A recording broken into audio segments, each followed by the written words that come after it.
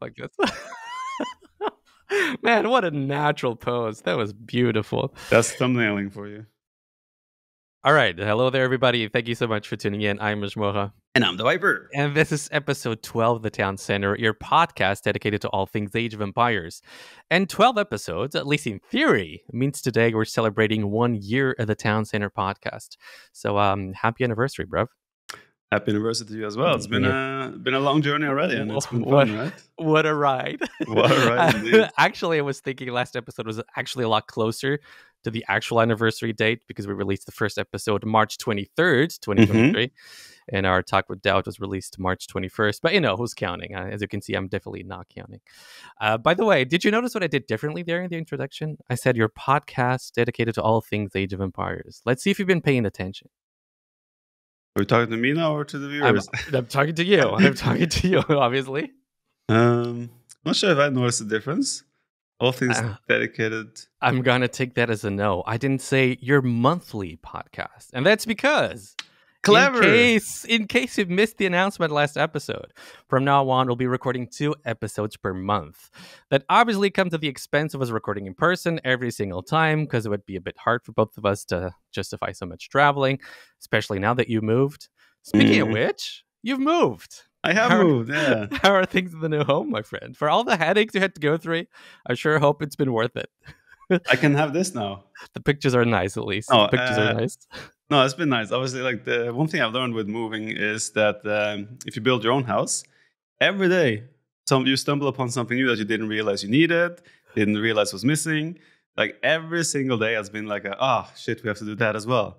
Sorry, I'm not sure if we're allowed to say shit. I, mean, I think we're not allowed. I think we're not allowed to say it in like the first 30 seconds of a video. Uh, I think we passed past that, okay, so okay. we're fine. Yeah. We're if fine. we're not, just beep it out. Okay. but yes, a, a, lot of extra work comes with the building a house that I didn't expect to be there. But I mean, we're we're settling in, and um, slow and steady things are getting better. My room is also coming together better as well. I finally like I've had this acoustic foam panels, you know, that gives, makes the audio better on paper and removes echo and things like that. It still sounds shit, by the way, but I know, but uh, it's getting there. But I've had oh, them. There was another with, shit. I've had them attached with like the two-sided tape, and they'd be like every single day, two, three, four of them fall off. It's been so annoying. But now I've used like this uh, adhesive uh, spray, and now everything is like glued so nicely together. It's so my room is coming together. The house we have moved in, and slow and steady, everything is good. How are things with you, Nelson? Uh, things are fine, but I'm not done. I remember you posted like a picture of uh, like an air conditioning above your above yes. your door, and people were like, "Actually, that's not the best place for an air conditioning." I like how people always like to find stuff to complain. Yeah, there's about. always something, right? I mean, like, uh, I, and then I was like asking everyone, like, "Why is it a bad position?" And, and nobody I, said why. I still don't really know why, but uh, apparently it's not the most ideal position. But it's like, who cares? It's it's I've used it like two, three times now already, and it works completely fine. So amazing, amazing. Yes. By the way, when was the house supposed to be ready? Wasn't it like last year or something? Uh, Nelson, we're, we're not heading that that wrong. all right, all right, all right. I'm done with that. Move on.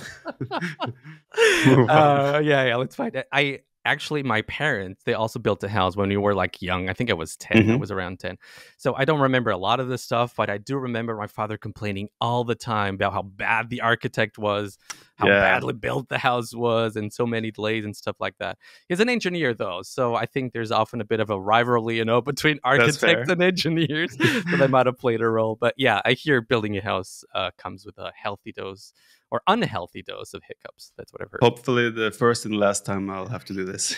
Let's put it like that.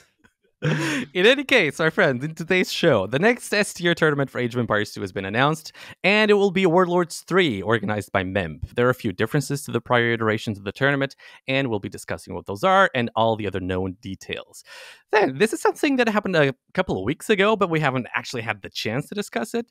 The AM members have disbanded, and believe Ooh. it or not, it's actually good news, and we'll talk about why. We all, yeah, yeah, yeah, yeah, yeah. I have, I have some good news on that front. We also have a new PUP available for folks to test, and it brings with it not only one, but two very controversial new features. As always, my friends, your support is absolutely crucial for the longevity of this podcast. So if you happen to enjoy the work we're doing here, especially now that we're increasing the frequency of the show, make sure to make your voices heard by liking, commenting, and most importantly, subscribing to the channel. To those of you who prefer to listen to us on Spotify, we have some very important changes to announce here. we've had a lot of people ask us, believe it or not, Viper, to release the episodes on Spotify at the same time we release them on YouTube. And starting today, for a two euro a month subscription fee, we're giving folks the opportunity to listen to our episodes on Spotify a few hours before they're uploaded on YouTube. This applies to both the Town Center episodes we'll be releasing each month now, as well as whatever other long format videos we make, such as, you know, post match talks and quizzes and whatever else. So this would be an amazing way for you to support us, to support the show, to ensure we can keep producing this content for you, and all of it is absolutely optional, of course. After 48 hours, all episodes will still be available for free, as it's always been the case. And again, I want to underscore this applies to Spotify only. On YouTube, it's business as usual and nothing has changed. But let's talk about some Age of Empires too. but did I say it like that? I hate it when I do no, that. it was completely fine. I hate it. I hate it when I do that. Okay, yeah. So Warlords Three is coming. Mm-hmm. There are four invited players: you, TaToH Hera, and Yo, which were the top four. I think that was the how the criteria was made. Right, it was the top four of the previous edition. I imagine so. I don't really remember, but yeah, I think I think that sounds about right. Yeah, and you guys were the top four, so I'm pretty yeah. sure that was the case. And then 12 more players will have the chance to qualify for a total of 16. This one is a $45,000 prize pool sponsored by Microsoft, and the main event will take place in the first week of June. We won't have to wait that long to see some action, though, because the month of May will be full of qualification matches. There will be two qualifiers, and the first one starts April 29th. Uh, so that would be roughly in two weeks. And Orion, you know what? I actually I was a bit confused because, uh, or conf- surprised rather, because I was expecting to see either a King of the Desert or maybe a mm-hmm. completely new tournament, but that was not the case. My guess is that Memb sort of agrees with something that we've been discussing here a couple of times already, which is I don't think these days there's like a lot of appetite for single map tournaments anymore, especially S tier tournaments. So I wonder, after five editions, do you think this means rip King of the Desert? Um, I mean, like five, five, number five is a nice place to stop it in some ways, right? We had Ooh, NAC that's a guess. NAC now with five editions, and you kind of stop mm. there, allegedly. um, I, I, know I keep making that joke. People might think I have some inside information that I know that Nili is going to make a comeback down the road or something, but that's not the case. I'm just like my own personal wish and prediction and hope is that somewhere in like a year or two, Nili feels like, oh, I want to get back on the in the saddle, and he will come back with an SC6. But you know, uh, five is a nice number to stop. King of the Desert five happened. I mean, King of the Desert five. In hindsight, I'm not sure how happy he was with the event. Like the final was a stomp. I mean, I don't know who was part of that, but uh, it wasn't. A I actually don't final. remember. Did you? Did you? Well, it is. It's got to be you. Let's carry on. Uh, and then um, we had like um, What's the other like Battle of Africa, the team game thing, right? He has already said that he doesn't really feel like doing a team game event now that Hera's and GL. Hmm. Obviously, that was kind of out of the equation. So that leaves if he wants to go down steady, known, comfortable paths, Warlords is the only option left, right? And I think Warlords has always been a success, and the variety of maps is always a bonus. And like Warlords was the first time we had these um, category map categories, right? Where we drafted one map from each category.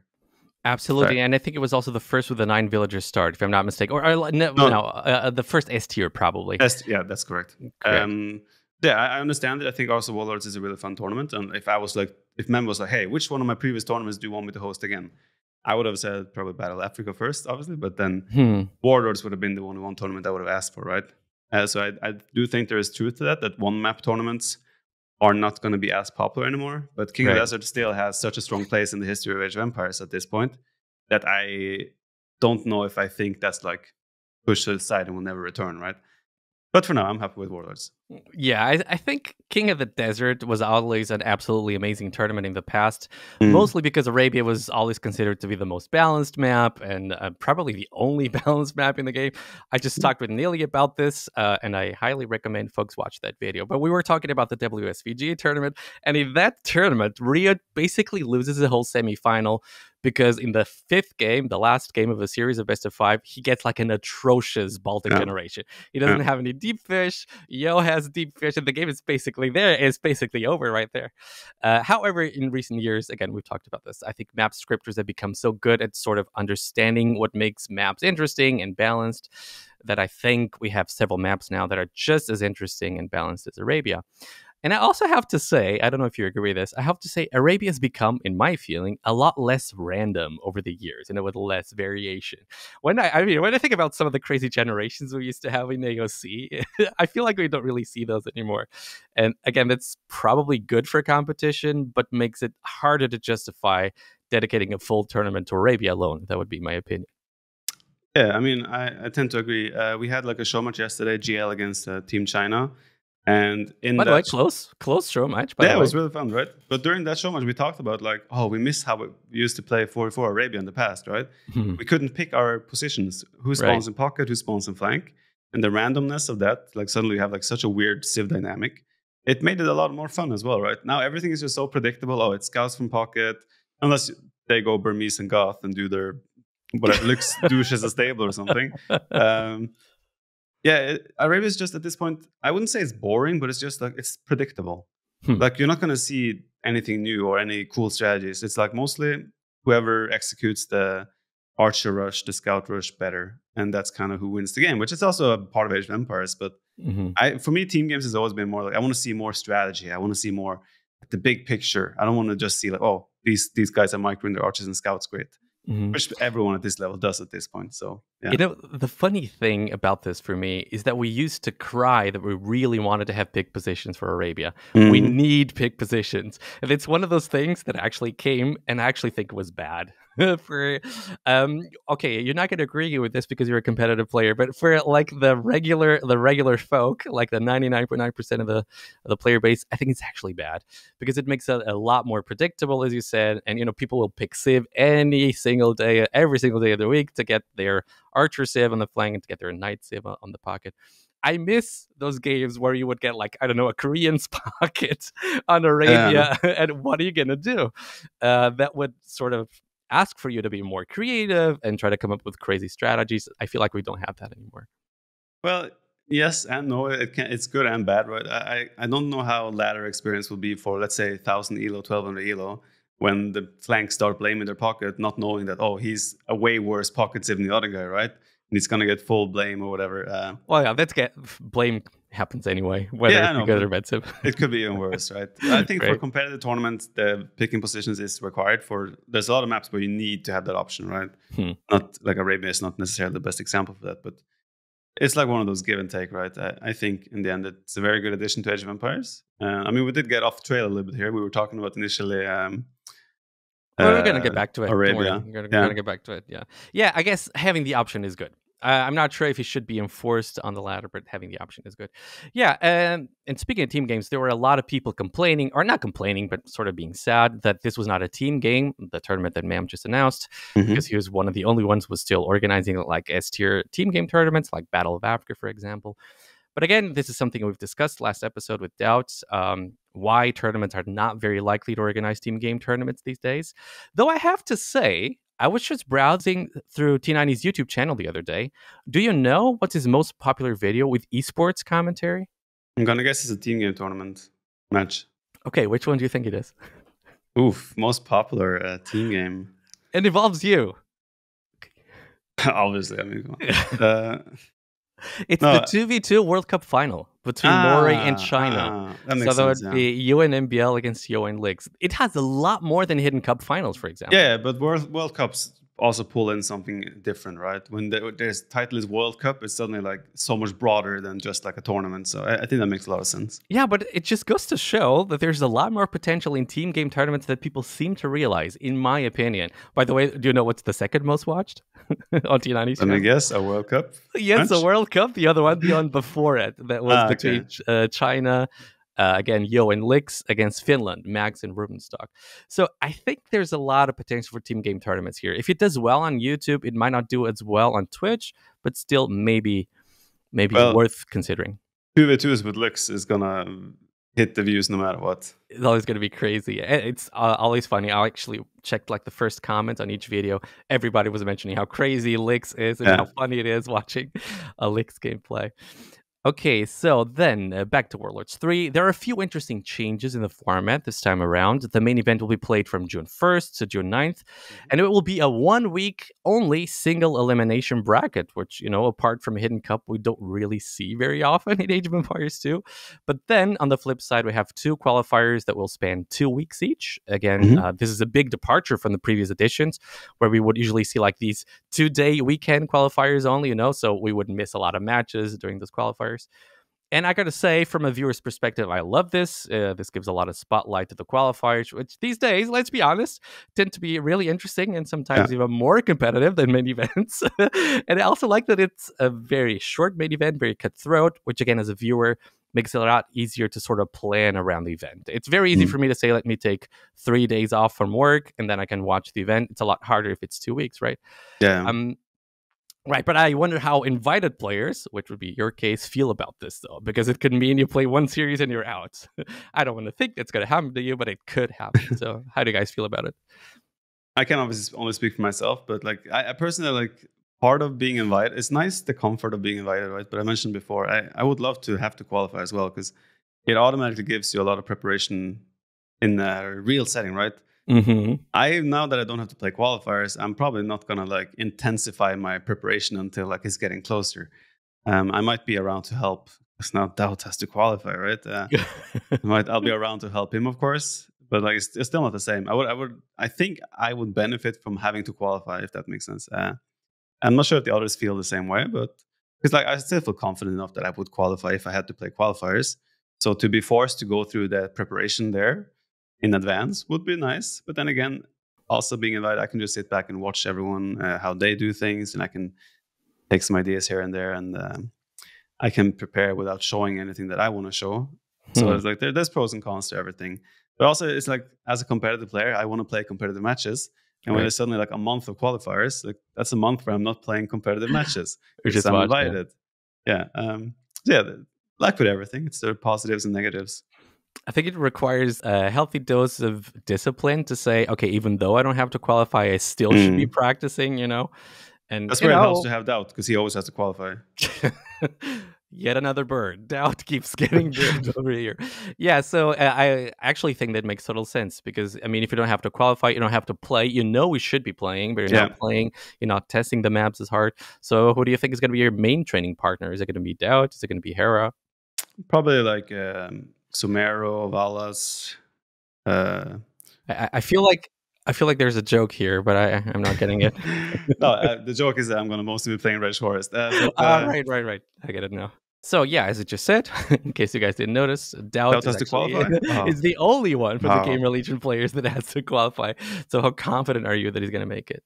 He should make it. He's, he's playing well. Like he's delivering really solid games overall. He but just beat MBL rather easily, right? I saw him like a show match two days ago. uh, wait, what was the score? Like it was a Warlord show match, right? Yeah, and he was so leading three one. I gotta confess, I didn't see it until the end, but he was leading three one, so I just assumed uh, he was going to finish somewhere around those lines. But anyway, yeah, uh, I, I, think he's gonna make it too. I was just uh, wondering if you're. I was trying to give you the chance to burn him one more time. I'm just trying to figure out. Ah, oh, damn it, he won. Okay, he did. Uh, win. DauT won five five two in the end. Five, okay. yeah, like I said, DauT overall, despite all memes and jokes, he's delivering really high results. I would say the last year, year and a half. Cool. Like he was very inconsistent. I would say over let's say the last four four years like even during red bull 3 right it was just like a it was uh that was not their the what's it called? It was not a consistent performance. He was not expected to be winning red bull right? Hmm. but uh, he has it in his locker to do that and uh, he will definitely qualify. What has changed there for him? Do you know? I think it's a mindset thing. He just like took the pressure off himself. He realizes that he's a good player. He doesn't have to win and he doesn't have to get top four. He doesn't have to get top eight. He knows that. Uh, top 16 sometimes but like yeah it's just when you when you can flip a switch in your brain sometimes to it will like alleviate a lot of the pressure that you might feel and you suddenly like just like it frees up your gameplay and also DauT learn to use the market so. It's kind of crazy to me how much mental how much of the mentality of a player makes a difference in age of empires mm. 2 and i say this because it's something that everybody mentions so it's got to be true. Is jordan going to sign up? I would not expect so no. Oh seriously? Why not uh, it's, it's uh, he's heading different ways in life right now. Okay, that's sad. I was was still gonna hope that we would sign up. Okay. I mean, I, I can't speak for him, right? I haven't talked to him about it specifically, but I would be surprised to see him sign up. Okay, but he had such a good result in NAC. And Hidden Cup, Um, top top eight in Hidden Cup without training Yeah, a single I match. wanted, I, I wanted to say hidden cup. Okay, Yeah. that's sad. Well, I guess if you haven't said anything further, you're not going to say I- anything further. I, I can't say. Like, I haven't st- talked with him specifically about, hey, are you going to play Warlords or anything, right? okay, but Um, has something happened that would lead you to think that he's not going to sign up? I mean, how much Age of Empires have you seen him play since NAC or Hidden Well, Cup? again, I haven't seen before that, and he still signed up for both NAC and hidden cup. So Well, Hidden Cup, he was invited, so it's like, why would he turn it down? Okay, fair enough. Fair enough. Then we have a nine villager start. We talked about this. Is it actually the same nine villager start than NAC five? But it, this is so confusing to me because because you have like the NAC five start, you have the Deep Waters League uh, Yeah. nine villager start. I mean, the Deep Waters League was the origination of the Nine Villages start, right? Where they Right, did the right. calculations for like, okay, how many resources would we have roughly at this point with this civilization? They adjusted Chinese, Mayans, and every civ according to like what would the situation look like on paper with a standard opening. And then Warlords came and they just like everyone gets the normal resources, if I remember correctly. So it was like, that was like a shift again, right? Where it also sped up the game in some ways and made the better civs maybe even better on Warlords because they didn't have that balance, right? Um, and then NAC, I'm not sure. I don't remember exactly how NAC has done it. What they try to do is they try to mimic the exact same of state of the game whenever you have the same amount of villagers that you start with. Yeah, so they Oh. went for the Deep Waters League uh, approach in that yes. case. Yeah, Yes. so that's NAC then. Uh, so yeah, that's that's a different difference then, right? I'm not sure what Warlords will use this time, but if I recall correctly, the last time Warlords just had like everyone has the standard resources from the start. Right. No correction. Is Yeah. it confusing for players? Does it make practicing a little bit difficult? Not really, as long as there's a gap between, right? Um, you you will to, get the you know- feel for it very quickly once you start playing the, the maps. Okay. Uh, okay, so I, I was just thinking the other day.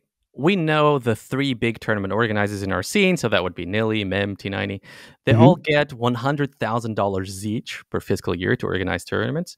This year, for example, Nilly used that money for NAC 5. Tristan used it for, tri- uh, I want to say Triton's League. The Titan's Tr- League. Tritons. Tri- Tristan Triton's League, Titans League and Hidden Cup 5, and Mem used it for both Warlords. So that would be Warlords 2 and now 3.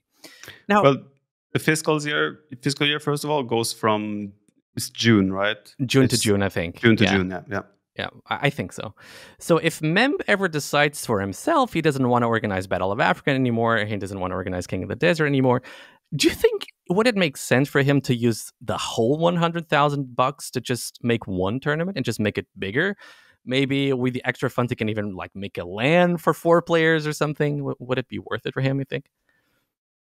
That's with the. I mean, I don't think that he will be allowed to be like, "Hey, Microsoft, okay, I know you might give me one hundred thousand dollars. I'm just going to take that all for one tournament." Microsoft be like, might be like, "Hmm, Really? can't you rather do two tournaments?" You know, I mean, they need still want to fill up the calendar, right? So there's enough tournaments throughout the year, right? If suddenly Memb, T90, whoever gets a fund from Microsoft decides, okay, I'm only going to do one event. Suddenly the calendar is like, okay, suddenly there's three months until next event. That's like that's a lot of dead time, right? So I think for them it's important that there's constantly tournaments coming. I think for Microsoft it makes sense that they want to have activity, right? It, Hmm. What game ever thrives under inactivity, right? Right, because a lot of people have been complaining that we have too many S tier tournaments, and they want to see fewer S tier tournaments with more, with bigger, grander. I don't know if prize pools, but you know, with a grander feeling for the Yeah. tournament. No, I think the balance right now is very nice, right? I felt like between NAC and Hidden Cup, there was a nice break. And I feel like now between Hidden Cup and Warlords, there's also been a nice break from like S tier. Um, we still have plenty of smaller tournaments for those who want to still play tournaments, right? Rage 4 is other only one tournaments. We had the Death Sudden Death tournament now. We have the Thalassocracy Cup. There's some show matches here and there. No, I feel like I feel like the balance is pretty good right now. The issue was only like I think towards the end of the last year we had like I don't remember was it Warlords 2? Warlords 2, we had it was November, November, yeah. yeah, and I had um, my tournament as well. I don't remember anymore. Cartographers right after. Like it was just like there was like very quick succession. Um, And then NAC five. NAC five. Yeah, I feel like uh, now the break from NAC five to Hidden Cup and then here has been very nice, and I would like this rhythm to stay, so to say. And yeah, of course, I don't know how Microsoft also operates. Right? Do they just give say, okay, you have 100k, do whatever you want? I don't know if that's necessarily the case or if they get some guy. I mean, the way I know it, you have to apply still. Hey, I want to host this tournament Right. how much can I get for it? Right. Hmm. but That's we kind of- know. I, I mean, this is. I don't think this is official information, but you can see. uh, You can see it. I mean, if you just add up the prize pools, this is a fact. I mean, these guys are getting 100k per year. But let's imagine Microsoft does not say they want you to organize several tournaments instead it's just one. From Mhm. a pure like um, channel growth perspective, what do you think is actually better for you as a content creator to just have like two smaller tournaments or one big ass one? well, the, the issue is when you say smaller, it's still not small, right? Yeah, absolutely. Uh, smaller with Yeah, big, smaller. big quotation marks. Yeah, very yeah. big quotation marks. I, I would still say two smaller ones are better because you have Okay. like you have two big surges of jumps instead of just like one big one, right? And even like one single 100k tournament is not necessarily guaranteed. Let me first of all, let's say you get 100k. Not everything is not going to the prize pool. You're not going to advertise a tournament as a one hundred thousand dollar prize pool, right? Because you want to have production, you want to pay your admins, you want to pay graphics. Like a lot of the money goes to behind the scenes stuff, right? Depending on how much effort you want to put around that, right? Like when I did cartographers, for example, I was just like, we're gonna put everything into the prize pool and we'll figure it out somehow, right? but that's like also I only only also in quotation marks I only got uh, fifteen thousand dollars for that one, right? Mhm. And then I was able to bargain on top of that a little bit extra to pay the admins.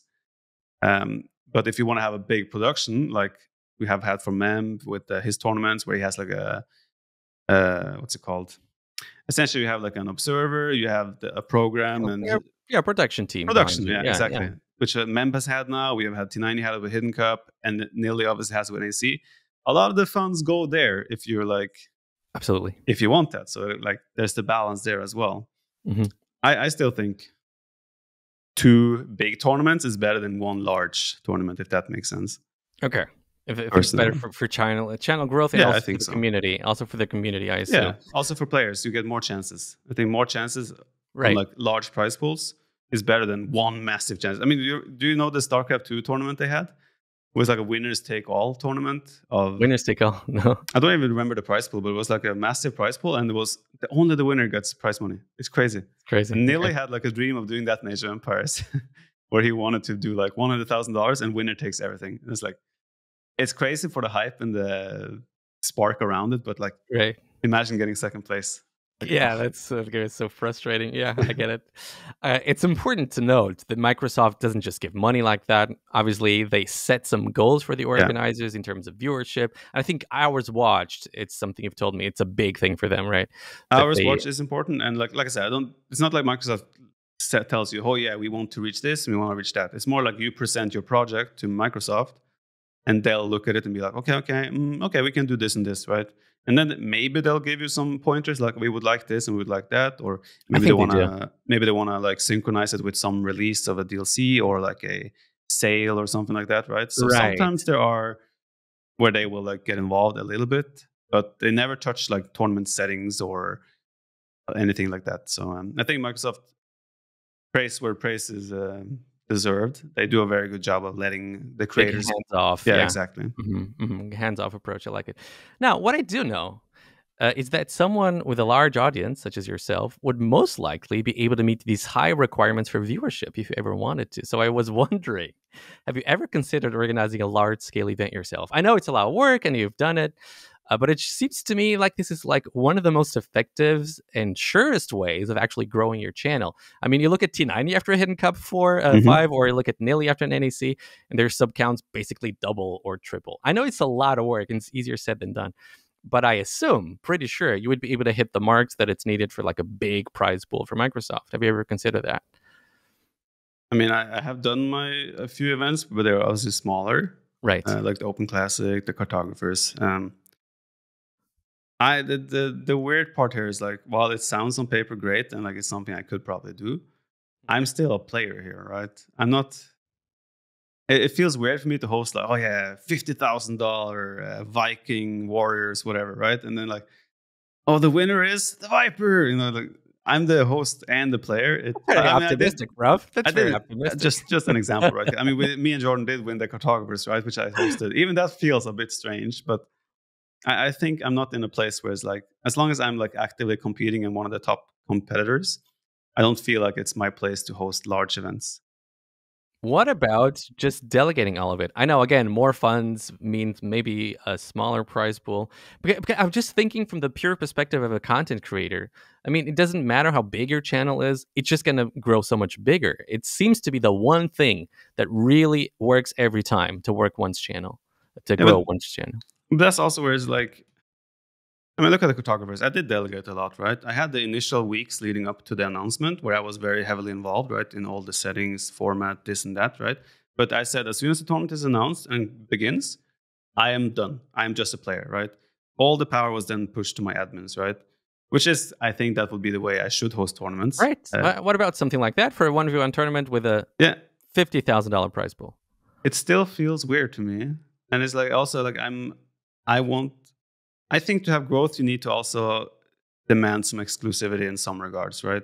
Not not demand exclusivity in that regard. Wait, wait, like, wait. We're getting to controversial territory. Listen oh, no. this, guys. Like, I don't like. I my channel is doing fine, right? I have no need to like further extend my. Uh, like I, I, if I was a smaller creator, I would definitely like if I was a tournament, I would no hesitation. I would. And you wouldn't some... get the money, but then you wouldn't get as much money because you're smaller. You'd have a large enough audience. No, know? no, but I would like force everyone to have like my name in the title or my logo, this and that, right? When mm. I host my events right now, it's just like, guys, go out there, make the best show you can for yourself and your stream and the tournament.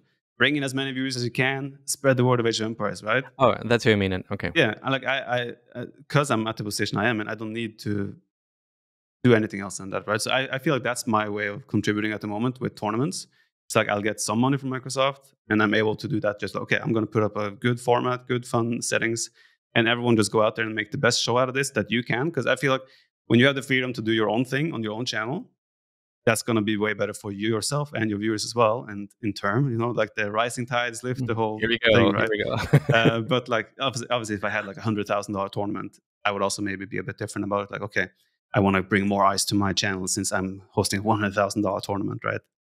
Right. Um, yeah, I think you should consider and consider that at some point. Um, not if just I, maybe when I'm just, washed. proper washed. doesn't even have to be that. Just imagine right now. Well, if it's true that Nili is really not going to organize anything anymore, we suddenly have one hundred thousand dollars that are not going to be in the scene anymore, right? So NAC is gone. Is that how it works, so, though? That there is like no, a I don't think so. Of course, the Microsoft gives money. I mean, Microsoft has a lot of money. So if somebody sort of fulfills the requirements and the criteria that they put for people to get the money, they just give it. That's what I assume is happening. And I'm again, I'm pretty sure you would be able to fulfill those criteria. I mean, I've, I've already approached them and I've applied and asked to host cartographers too, right? If they come back to me like, "Oh yeah, we want, would love for you to do this," then I can ask and inquire like, "Okay, so now that Nili is not here anymore, uh, how much are we talking? You know, I, I, can obviously play around with that idea, but okay, um, we'll see. I, I, yeah, I haven't we'll really see. like. I, understand where you're coming from with these thoughts, and I'll keep it in mind. But again, like I still feel like as long as I'm one of the top competitors, especially in the one on one, I feel a bit off by hosting like one on one, and then I'd be like, price is only for top two, you know. well, yeah, you wouldn't have to do that. There's but always conflict of interest, essentially. I don't think those things would be mutually exclusive. If you make it very clearly, I'm not admitting this tournament, somebody else, I think it's perfectly fine. But yeah, I to- totally get it as well. Uh, moving on, my friends. Uh, so I think it was precisely one day after we recorded our episode with DauT that it was announced the AM team was disbanding. And I believe, Orion, the official explanation, I believe, was that they didn't want to give the idea that AM was a sponsored team, you know, by playing under the same tag, uh, because that could potentially sort of scare away some actual sponsors, which I think makes perfect sense. And I also guess this makes it a little bit easier for them as individuals to find sponsors or to find a team. Because I mean, if it's already difficult to find a sponsor for one player, finding a sponsor for four players is mm. basically impossible.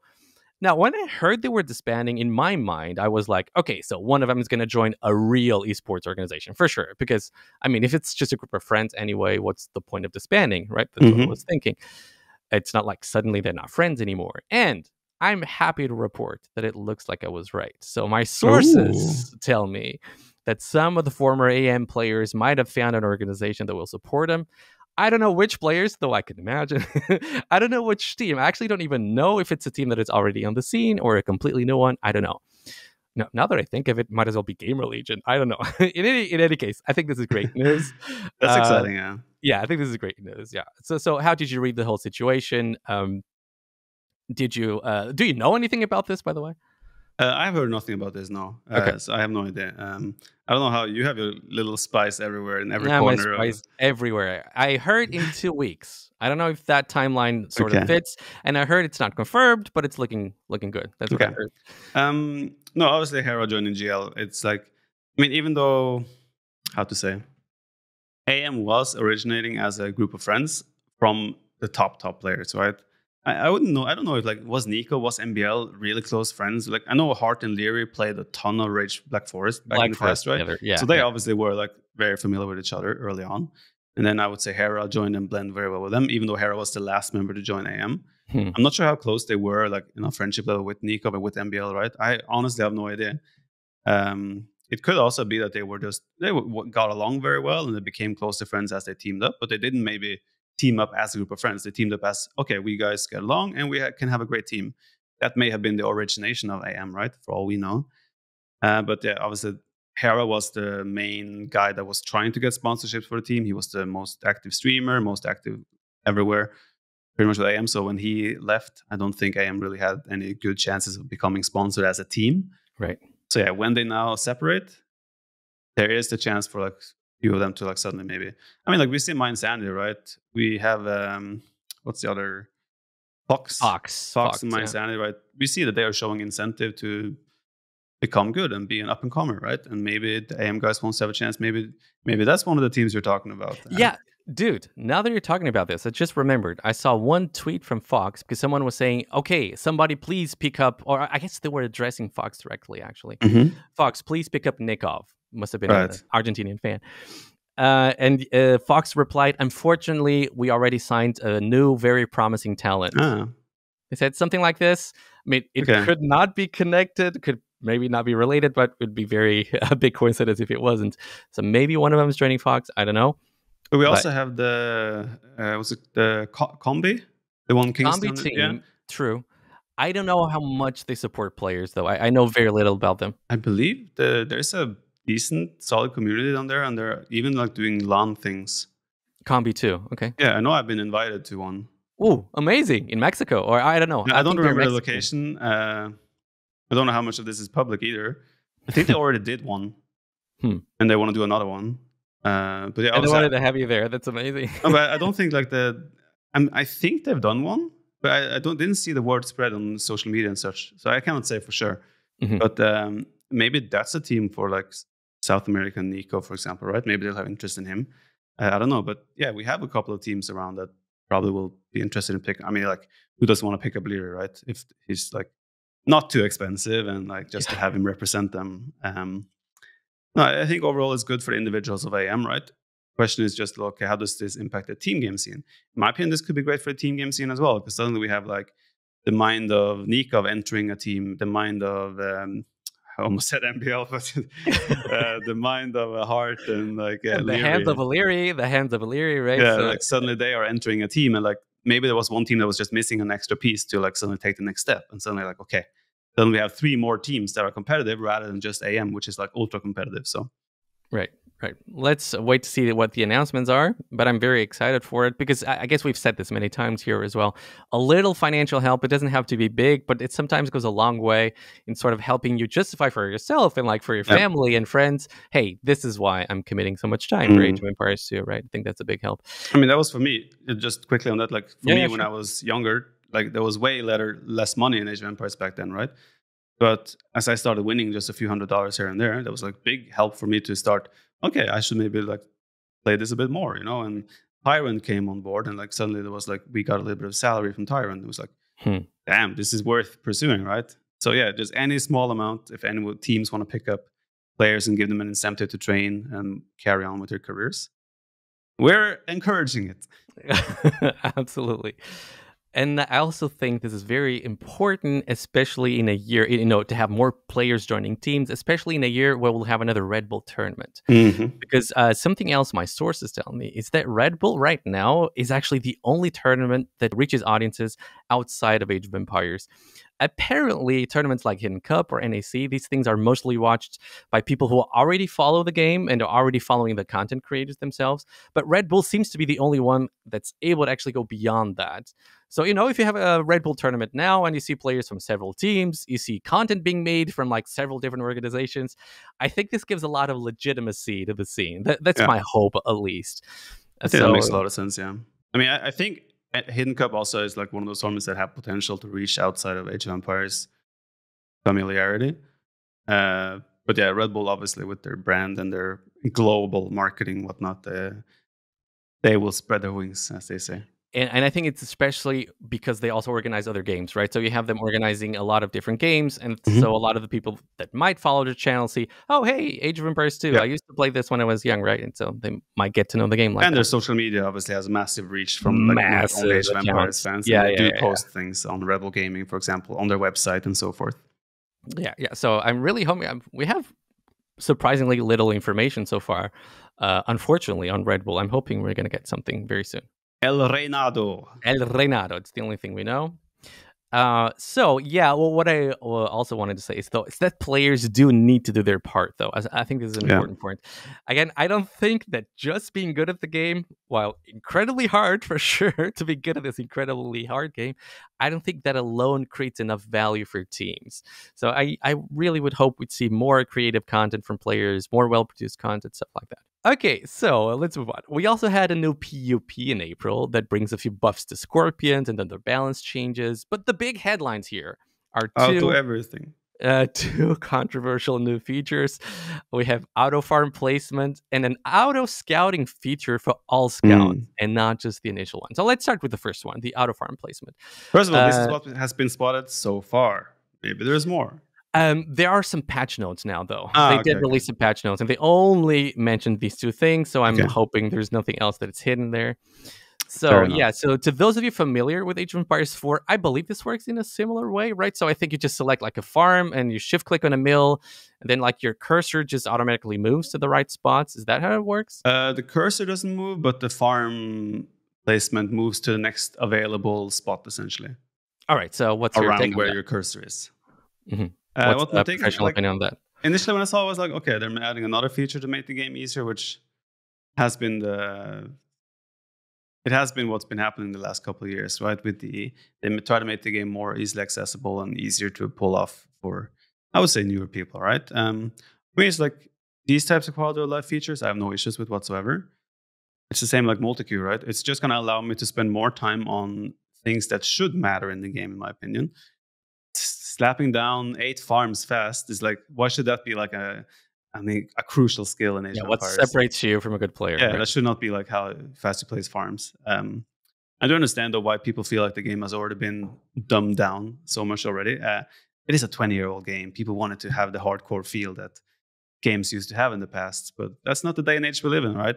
People wanted to be able to jump in and play a game and feel like it's not you're not fighting the game, you're just playing the game. I remember when I started trying Warcraft 3, for example, right? Also a very old game. Sometimes I felt like I was playing, trying to just fight against the AI of the game rather than playing and enjoying the game. Um, obviously, that's not necessarily correlation uh, related to the farming here, but I think it's fine. I don't see an issue with it. And I, I think people complaining about it is like, how is this going to impact? Is this is not going to change the level at your level that you're playing at? It's not going to make you or your opponents play worse or better. It's just a small, nice feature to help placing farms more conveniently. And I've also seen some clips where or pictures where it shows like the farm placement isn't perfect. It will sometimes act very like a little bit. No, you might have gaps. seen that Reddit post. I was confused yeah. by it as well. I was confused by it. If I understood that post correctly, it was very weirdly worded, in my opinion. But I think that was a suggestion from the guy that if you use the auto farm oh. placement, it oh. shouldn't be perfect. Oh. I believe that was the implication. I think the farm placement is sort of ideal. I, I, ah, I think okay. I, I, might have I might have misunderstood it. I the wording was, was, very confusing in that. I, thought it was uh, like a showcase of how it can yeah, come out. I think I think it was a suggestion from the guy. Okay. I, I, guess we're gonna have confirmation no, of that in a few. Who cares if its palms are perfect or not? It, it's such a small thing. I yeah, I, I am I'm, I'm right with you there. Actually, I do understand the auto fe- auto everything fears, but uh, yeah, I suspect this change will have a very very minor effect because you don't actually zero save uh, zero. you don't actually save any clicks, right? I mean, you do save a few mouse movements. Yeah That's true. But in so, like shift queuing tasks, for example, where you don't even have to look at the screen anymore, that does save you a lot of mouse movement and screen movements. Where you might save clicks is you avoid misclicks, right? Sometimes you try to place farms and it's like, oh, you clicked it on top of an already built farm or like the corner of a built farm. So there's the the thing that you save because you want misclick or hit when you're trying to spam farms quickly in Imperial Age, for example, you're not gonna misclick and like waste two, three clicks, right? So mm-hmm. that's the only thing. But like again, who cares? You know, the biggest benefit, I believe, of this feature is that they're going to be bases are going to look prettier. I think that's probably going to be the biggest, uh, biggest benefit that we have. Actually, the most common critique, because I think this hasn't been received too poorly in the community, as far mm-hmm. as I mm-hmm. was able to see. I think the most common critique that I've read about this change was that folks were saying stuff like, "I'd prefer they fix the game first before they right. add new features." I've seen a lot of that, but I'm pretty sure these things are not mutually exclusive. I believe you can have them fixed whenever needs to be fixed mm-hmm. and work on new feature at the same time. Yeah, a lot of people seem to be set on this idea that devs are incredibly incompetent. And, you know, I guess that's certainly a possibility. I'm not denying it. But personally, I think it's a lot more likely the case that um, from what I heard from a lot of people that to work in the industry, it's just incredibly hard to work yeah. on the base code of this game. It just seems to be very complicated uh, to work with. Very I old mean, coding. Yeah, I mean, they add a drop off button and suddenly you have villagers hunting trees with yeah. bows and arrows. if that doesn't show you what a nightmare it must be to work on this game, uh, I don't know what will. I think there was, wasn't there a story where they touched something in the scenario editor and something broke, a completely other part of the game broke like they changed a small thing in the scenario editor and like something else completely broke. Like the way the code is put together, like imagine they just rebuilt Age of Empires in a modern engine exactly how it is, just with their code. That would be. I'm not sure how long that would take. probably long, probably, long probably a long time. But like at this point, maybe it would have been worth it. You know. Uh, no, but like it's also like there are, there are different departments, right? Like the whoever is working on new features might not have anything to do with bug fixing and such, right? So that's we shouldn't put those guys and just be like, "Hey, stop working until we fix this." Right? They should right, still right, do things. That's what I think. That's what I think. It probably yeah. happened. And another thing I want to add is that regardless of how incompetent you think these devs might be, I suspect, and I'd actually like to hear the opinions of folks in the comment section who know more about this than me, but I suspect these devs are still going to be, by far, I assume, the most competent devs on the markets to work on this specific yes. code. You know, simply by virtue of the fact they've been working on it for like, what is it, 12 years now? I guess 11 years. I believe they became part of the project in 2013. So yeah, uh, be be careful what you wish for, man. Look at what they did with HD Edition, right? They brought in a, another an external company Skylab or whatever. Yeah, something like that to try and work on the game. It was an absolute disaster, man. Like, very fair point. Very fair point. And they're like, they were probably like competent developers. Right, right. right. But they were not, none of them probably learned coding with whatever was used back in the days in 1999 or whatever. Um, I think we should be very happy with like the love and attention the game is getting. Agreed. Of course, bugs and issues are frustrating always, no matter what. But and criticism is rightfully due very often. But at the same time, we have to also be a little bit understanding of the situation we're in. And like, it, it's not like they have a team of uh, thousands of people working on the game. Either, they're a right? small studio. Yeah, yeah they're exactly. getting bigger, but they're a small studio. Yeah. Uh, I think Q and A testing needs to improve. That one hundred percent the case. One hundred. I don't need what they need to do there. It needs to to increase because I mean, a lot of bugs. Yeah, we have suggested in the past, like just pick eight, ten pros or like people at high level just pay them a little bit of money and they grind uh, like spend one evening play for a couple hours. I yeah, guarantee I guess, you. Uh, just pay a little bit of money might be doing a heavy lifting there. Might be, yeah, of course. I assume, I assume, they wouldn't need a lot, right? I'm sure a lot of people would do it for like 20, 30 bucks. Just play an evening of Age of Empires. So I think you want to do that anyway. uh, and then it's like you would find so many, so many of these bugs that we have noticed after release. I feel like I would have figured them out within two or three games. Hmm. A lot of them would have come up naturally, right? Yeah, that's what a lot of people say. True. Now, as for the auto scouting with all scouts, man, Mm-hmm. I think that one does cross a line for me. I, I guess I need to see it in action first and see what kind of abuse pro players can do with it, but I think it sounds bad. Now, to be clear, um, it is my understanding that auto scouts only explore unexplored areas, and you know, yeah. as soon as the map ex- is explored, they just go idle. Uh, so yeah. you can't really look for sneaks or anything like that. But I just think whenever you're playing a map with a very sort of unclear layout, let's say Nomad or maybe some mega random or some brand new map that nobody knows about. Mhm. This does feel to me like it removes an incredibly important aspect of the skill set of a player because you know it can just create a scout going to feudal or one going up to castle age, put in an auto scout, and that's it. Uh, so yeah, how, how do you see this one? Well, uh, this feature is not. It's not like I'm not going to be actively using it, right? Maybe if I have leftover scouts, that's the only case, right? Oh, dude, dude, I've heard you're one of the most one, one of the pros that uses auto scouting the most. That's what someone said on Reddit. I, Compared to maybe the other pros, If- because I click it. if it's on Reddit, if it's on Reddit, it's gonna be true, you know. yeah. No, I mean, like, I, I maybe I misclick it something. I used to misclick. I used to have a hotkey for it, right? So I, I tend to misclick it sometimes. I don't have a hotkey for it anymore. So, um, no, but I, I can see myself using it with leftover scouts and Age just to complete figure, the map, right? Hmm. But even then, like, there will be if there's black spots in the enemy base, sometimes your scout will just try to get there and you will just die, right? So there, there are pros and cons to like using it as well. I think pro players rarely will use it. You think so?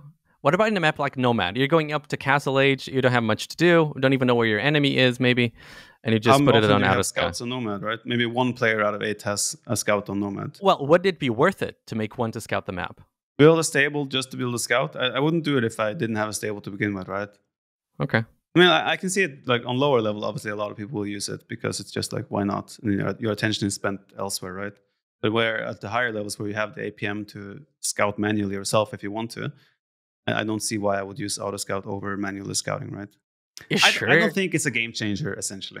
Okay, but you sure you're in Castle Age? There, there's fighting happening everywhere. We have three TCs. Isn't it so easy to just put one scout on auto scout and it's just gonna have It's the map 80 food, revealed to you? 80 food. All right. I mean, if you say so, if you say so, I'm gonna believe you. No, I mean, Uh, like, I said, I if I have leftover scouts from Feudal Age, I will just pull one or two of them to the side and like have them auto scout from that point forward. okay, isn't that a bit broken? No, uh, the, the, their logic. I mean, if- if they fix the logic in the auto scout, sure, you can have a scout run across the map like through for one minute in uh, scouted terrain just to pick up one dark spot that is randomly in the middle of your base, right? It's like the auto scouting logic isn't necessarily great, and I think if you have two units on auto scout, they're going to follow the same pattern as well. Mhm. Like at most, you're using one scout to auto scout, most likely, no matter what. Um, Okay, so no big deal in your opinion. And as I said as well, like if there are black spots behind your enemy base, your scout might just make a line straight through the enemy base, and he will just die. I- I, I don't think it's going to be a game changer. No, not a big deal in my opinion. Okay, okay. I'll be waiting to see if that's the case. Uh, I hear this is apparently going to be an amazing change for campaigns because sometimes I think it can get true. really tedious to look like for certain characters that you need Yeah. to find and if they're hidden somewhere. But yeah, okay. And uh, just uh, to make it clear, uh, this is only a PUP, so we don't even know for sure if they're actually going to bring it into the live patch. Okay, Viper. So you still wanted to talk about the Sudden Dessaster. So yeah, how did you feel about that tournament? Uh, it looked really fun to me, at least from the outside. Sudden Dessaster has been one of the most thing, fun things I played. I mean, I went out fairly early. I think I played two or three rounds. I lost to Taro. Uh, but yeah, the, the amount of crazy YOLO plays you can make in sudden death, where there's like you lose your town center and you're defeated essentially. The amount of crazy strategies, castle drops, and like the only negative thing was probably like it encourages too much of the like fast aim trap meta to try and trap down the town center. But the amount of petard plays we've seen and like crazy YOLO pushes, What about for been- you? That was so fun in the hideout game. That was so Yeah, fun. the, it's just been so much fun and like and there's been like a talking point here as well right people have fun with this because it's not as serious right and the price pool Right. isn't as big right. so what happens if suddenly Sudden Dessaster which in my opinion was a great success microsoft comes in okay you want to give this $10000 is that going to remove the fun that is Sudden Dessaster I feel like it probably will, right? yeah because suddenly people start preparing strategies like i think like i don't think anyone was I don't think anyone prepared and thought about okay how do I want to play this. Oh, I should prioritize this save and this save, right? I think everyone just YOLO'd it, and that made it so much fun as well. And I would love to see more events like this. You can have like a decent prize pool to the point where people want to play it, but also not enough where it's like you have to find a balance where it's not. I'm not going to be super sad if I'm eliminated, right? I Mhm. want to have. I would like to have fun, right? And like I said, the tournament for me was one of the most fun tournaments in a long time. And massive shout out to uh, JonSlow for for putting it up. And again, for having the guts to try something new. I think that's a very important point. I love that people keep trying new things. I think in general, when you have a mode that reduces like the amount of strategies that you can do and reduces one very big part of Age of Empires 2, is probably going to be as not going to be as well received as if you make it like an S tier tournament or something like that. I feel like folks Yeah. are going to think this removes too much of what makes Age of Empires so fun. It's too gimmicky, yeah. Yeah, and uh, speaking of that, Peter, I thought he was so funny. The final was amazing, by the way. It was Mister Mysterio against Vinchester, and it was that game on Hideout as well, where everybody thought that one of the guys, uh, because Yo, I believe, was playing as Khmer, Mm-hmm. and everybody was saying that Yo is probably going to try the same thing that you tried against Yeah. this I believe it was. And then he went from the side and completely debated Vinchester. That was such an amazing moment. So he cut not from the middle, but from the side. And Siska and Vinchester was not expecting it at all. And Ah. uh, Yo won like that because he just didn't, did not cut in the middle where Yeah. people are expecting him to. Such an amazing moment. And then the arena game Funny. was amazing as well. I think people should check that out. Okay, then I still want to talk about the World Rumble 2. So, for those of you who can't wait until the start of the Warlords 3 qualifiers, you can watch right now very high level games in the World Rumble 2. This is a tournament organized by the French streamer OGN, and it has a nice and funny prize pool of $11,111, sponsored by Microsoft and Holy. Holy is apparently one of the only sponsors that has actually come back to the scene because they sponsored one of Gamer Legion's tournaments in the past, I remember. And I believe Microsoft did sponsor ten thousand dollars, so Holy gave no math on stream. You you you do the math. so uh, the top top players were purposely excluded from this tournament, so you know as to give the rest of the competition a chance to place high in a Yeah. tournament, which I think is a great idea. So who do you have winning the whole thing? My vote goes to Hearttt. I think Hearttt takes it.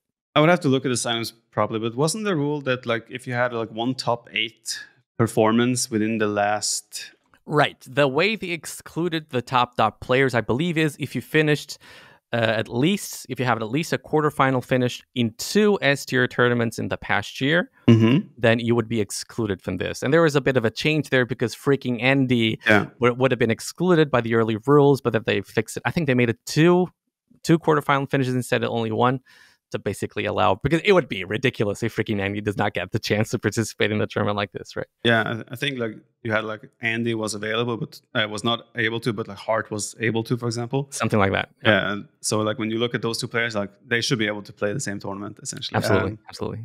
I'm looking at the player list right now. I can see. I think Hearttt is seed one based on the way I'm seeing this. So Mhm, uh, mhm. you went for the safe bet there, sir. uh, next round is going to be Hearttt against Sebastian, though. That's going to be exciting. Ooh. There's a double elimination here, by the way, uh, Yep. to to advance to the. Um... Oh wait, no, no, yeah. There's a double yeah, elimination double elimination, until sure. top eight, and then there's a single elimination, essentially. So Hearttt is definitely a good shout. I mean, Sebastian Hearttt. I think whoever wins that obviously will show be looking like they're very strong. Otherwise, you have names like freaking Andy that will definitely sail as a favorite. yeah, commit to a name, bruv. You never commit. Commit, I, I, bro. I'm a fence sitter, man. I like to sit on the fence. no, I think. Oh man, that's actually tough. There's so many ga- names that are so similar in skill level here that it's really hard to say. okay, let, me- let me look at the brackets. So. I. I can tell we have like Hearttt, Gunji, Sebastian, Classic Pro, Barles, Fire, Kingston, Dragonstar, Freaking Andy, Sorakuma, Valas, Overtaken, Margugo, Daniel, Mihai, and Dark. A lot of players where it's like, okay, I could see all of them beat each other, right? But yeah, I think Hearttt, Sebastian, and maybe Freaking Andy are the top three. I'm gonna let me quickly look at the map pool. Okay, map pool looks a bit weird. Okay, I think Freaking Andy is gonna be the favorite. you know, Im- imagine what a confidence boost it will be for one of these players to hear the Viper say he's going to win. That, that's what. Daniel, Daniel is the ch- gonna be champion. World Whoa, Rumble wait, two. wait, Is Daniel on it? Danny He's boy. loser- He's in the losers bracket, He bro. lost to Margogo, but he will make a big comeback. All right, there you go. I- uh, and you know, as I said before, Microsoft does require hosts to sort of reach certain goals in order to keep sponsoring their tournaments. So I do hope OGN actually reaches his goals. And I say this because I know how tough it can be to get a lot of viewers for a tournament without Viper, without Hera, without TaToH, and all of all of these top players. So huge respect for him to actually taking the risk uh, Yeah. organizing a tournament like this. But I think this does help the scene grow at those levels, right? I mean, it's a very healthy prize pool for second tier players. I mean, it feels harsh to call some of these players second tier players, but it, it's a very nice boost for those two like that have the potential to reach the top spots in ST tournaments, but they haven't really made it to the like, top eight, top four. And now, if they get it to top th- top two, top four, they will have a solid payout here. So, Mhm. yeah, I think it's a very nice initiative. Obviously, a little bit of risky in terms of like reach because, like you said, you're missing some of the big names. Um, but yeah, I'm all for this and very happy to see it. And uh, massive respect to OGN for doing that. Yeah, really, really massive respect for him to having the guts and to taking this risk. Okay, so folks, that was all from us today. Uh, we don't actually have a date to announce yet for our next episode, but again, we're going to mm-hmm. try to make it a little bit shorter and not monthly anymore, but twice a month. Uh, but I do know for a fact there are a few spicy things will be announced uh, in the next coming weeks. So I'm hoping we'll be able to cover some of those next time next time we meet Orion. All right, folks, thank you so much for watching, and we'll see you next time. Goodbye.